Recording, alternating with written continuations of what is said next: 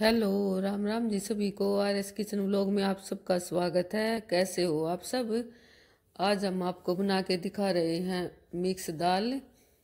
इसके लिए मैंने एक कटोरी दाल ले ली है, दो टमाटर लिए हैं, दो प्याज ली हैं, चार पाँच कली लहसुन की ली है और दो तीन हरी मिर्च ली हैं। चलिए आज आपको बना के दिखाते हैं मिक्स दाल। बहुत ही अच्छी और स्वादिष्ट और पौष्टिक होती है, वही प्रोटीन से भरपूर। ये देखिए, दाल को मैंने भिगो दिया था लगभग आधा घंटा। अब इसको धो के साफ़ कर लेंगे। ये साफ़ कर ली है मैंने, अब कुकर में डाल देंगे और दो गिलास पानी डाला मैंने इसके अंदर।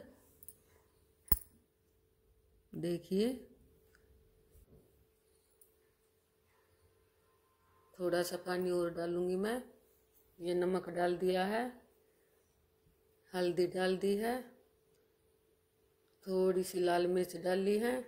ये मैंने हरी मिर्च सुखा के उनको पीस रखा है, इसलिए थोड़ा कलर ऐसा आ रहा है इनका। अब इनको हिला के कुकर को ढक के पाँच छः सीटी लगवाएँगे। ये देखिए, प्याज टमाटर को चॉप कर लिया मैंने चॉपर में।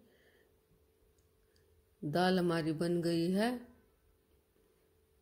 अब इसमें छोक लगाएँगे। ये तीन चार चम्मच देसी घी ले लिया है मैंने।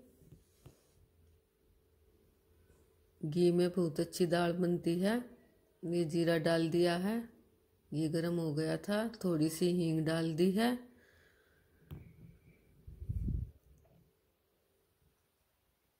अब प्याज डालेंगे। जीरा थोड़ा सा ब्राउन होने के बाद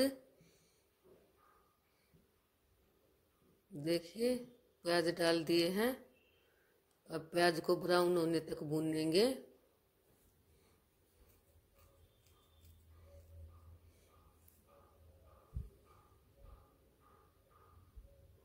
हफ़्ते में दो तीन बार तो दाल को ज़रूर खाना चाहिए, क्योंकि इसमें प्रोटीन भी होता है।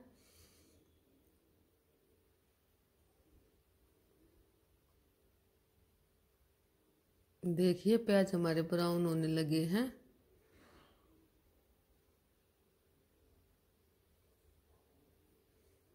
वीडियो अच्छी लगे तो लाइक, शेयर, सब्सक्राइब कर देना, कमेंट कर देना।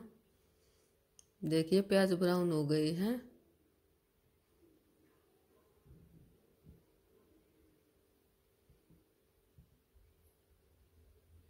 अब इसमें टमाटर डालेंगे।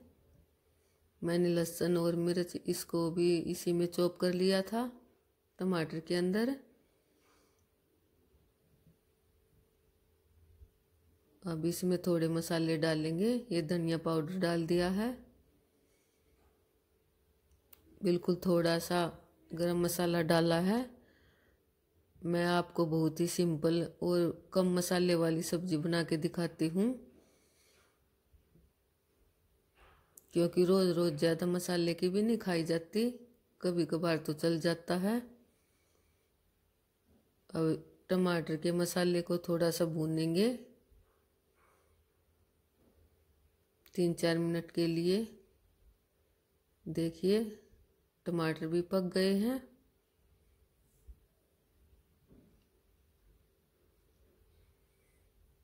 एक बार फिर बोल रही हूँ, भाई वीडियो अच्छी लगे तो लाइक शेयर सब्सक्राइब कर दिया करो।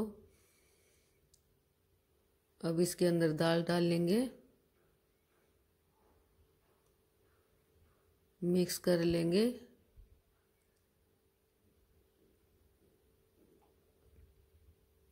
अब चार पाँच मिनट के लिए उबाल लगाएँगे। देखिए कितनी अच्छी बनी है दाल हमारी। अब इस पे एक दो बाल लगवाएँगे। देखिए। अब इसको एक बाउल में निकाल देंगे।